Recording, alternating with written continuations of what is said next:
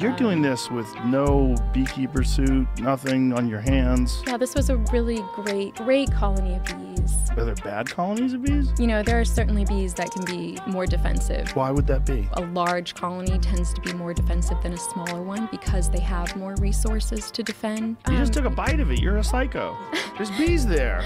I've been working hard. That was a long removal. I know, but there's bees flying around your face and you're just biting into that honeycomb. There's bees all over that They're, thing. they're, they're not trying to sting me. There are a lot of bees there. I mean, I understand, but you just you just took a bite with uh, bees to the left and the right of your mouth. I tell you what, you're watching me this. at my most joyful moments. I love doing this. That's your This most is- joyful moment to just take a bite out of their house.